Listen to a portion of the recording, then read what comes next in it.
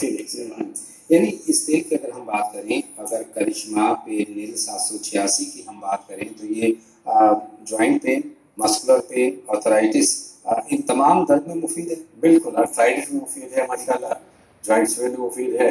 और मुख्तलिफ़ चीज़ों में जो भी किसी किस्म का भी दर्द हो आपको थकावट का दर्द है या सूजन आ गई है सर दर्द वगैरह हमारे पैर जुड़ गए हो जी बहुत बार ऐसा होता है हमारी बोन नर्व डेंसिटी कम हो जाती है। हम्म। तो हमारे जो पेट के साथ साथ या मॉइस्चर में रहते हैं हम लोग या धोबी की फैमिली से कपड़े धोने का ज़्यादा काम करते हैं जी तो मॉइस्चराइज ज़्यादा हो जाता है। तो उससे हमारे हाथ पैर जो हड्डियाँ हैं वो जुड़ जाती हैं अक्सर आपने कभी देखा हो किसी पेशेंट के सर हाथ नहीं खुलते हैं। हाँ पकड़े से रहते हैं। हाँ तो ये उसके लिए तो बहुत अच्छा है एकदम खुल जाएँगे।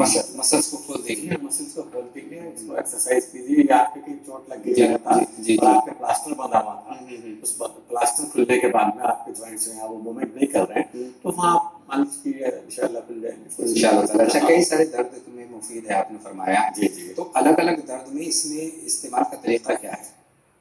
इसका तरीका ये है कि अगर देखिए आपको स्वेलिंग के साथ में पेन है तो उसे आप थोड़ा सा गर्म करके मालिश कीजिए। जी जी। और अगर विदाउट स्वेलिंग है इन्फ्लेमेशन नहीं है। इन्फ्लेमेशन से मुराद होती है हमारी रेडनेस से होती है स्टिफनेस से होती है और uh, 5 over and these, these, these